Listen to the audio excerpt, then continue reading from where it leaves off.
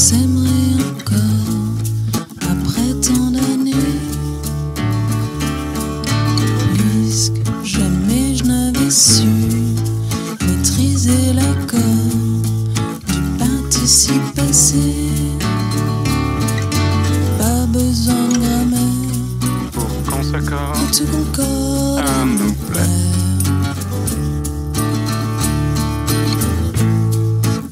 sans se lasser.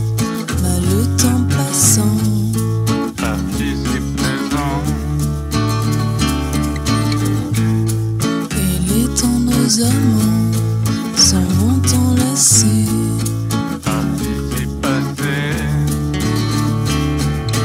Pas besoin de pour qu'on se conjugue. Se subjugue le